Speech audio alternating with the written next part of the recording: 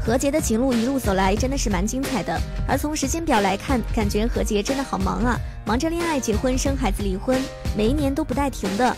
何洁因为私生活问题备受关注。今年二月二十七日，何洁被爆料生三胎后，索性直接官宣了，晒出一家五口的全家福，其乐融融。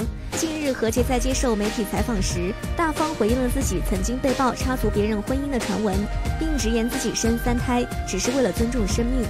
何洁还坦言，我们可能遇到的时间点会给别人抓住把柄，疑似回应出轨一事。早前，何洁曾经因为与自己前夫贺子铭的离婚案而闹得满城风雨。二零一七年，何洁与贺子铭确定离婚。二零一九年二月二十七日，刁雷首度发文承认何洁诞下第三胎。更多精彩资讯，请关注匠心影视哦。